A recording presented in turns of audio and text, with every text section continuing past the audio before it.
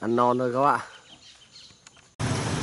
Xin chào toàn thể các bác nhá. Hôm nay mùng 7 tháng 11 Vật mẻ hét cho các bác xem. Đây, Test cái máy mới cho khách đây. Vặt luôn cho các bác xem nhá.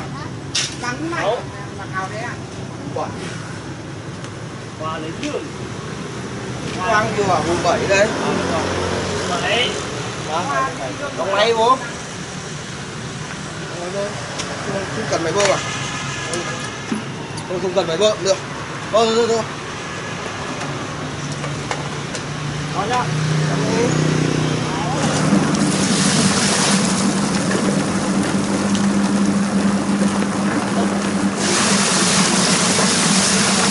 Nhanh nhỉ Phải là bốt không bốt Đúng rồi, đúng rồi Rất nhanh Mấy giây, chỉ mấy giây. Nhắc lại, Chỉ mấy giây Cái héc này rất chi là mỏng nhá các bác nhá. Cái héc này da của nó cực mỏng Nên em nghe mình vặt cẩn thận đây. Nói chung là vặt, vặt, vặt qua thì nó chỉ sạch được như này thôi các bạn. Nói chung nó không được sạch lắm.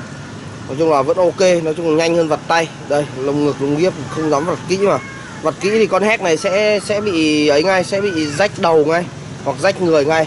Nên anh em mình nhúng nước này Vặt héc nên phải cẩn thận Em chỉ dám vặt qua như này thôi, Để cho nó giảm tỷ lệ làm tay đi thì nó sẽ nhàn hơn đây có con nó cũng sạch tương đối các bạn nhưng mà mình không dám vặt lâu, đâm ra là nên vặt nó chỉ được như này thôi các bạn. Đây, đấy.